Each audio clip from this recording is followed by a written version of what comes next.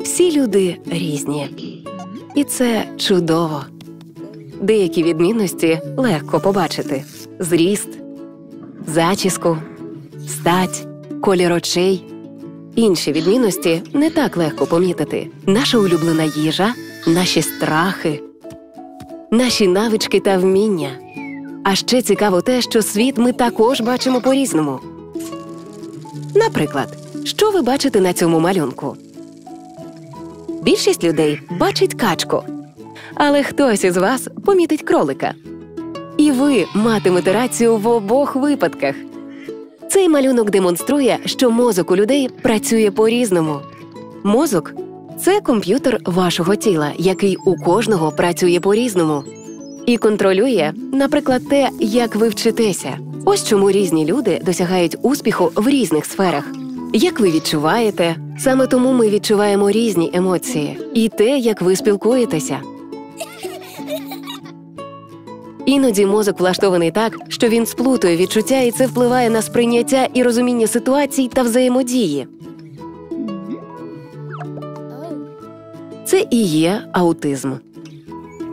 У багатьох людей є аутизм. Тож, ймовірно, ви вже знаєте когось із аутизмом. Саме тому вам буде корисно дізнатися про нього трохи більше.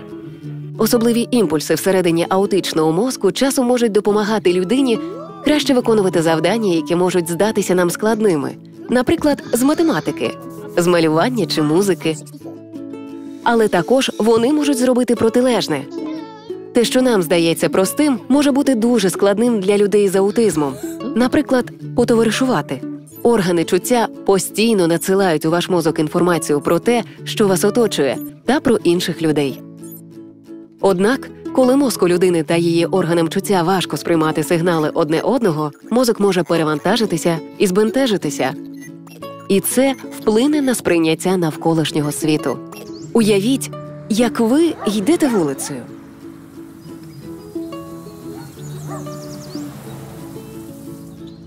Ось як подібну прогулянку може побачити мозок з аутизмом.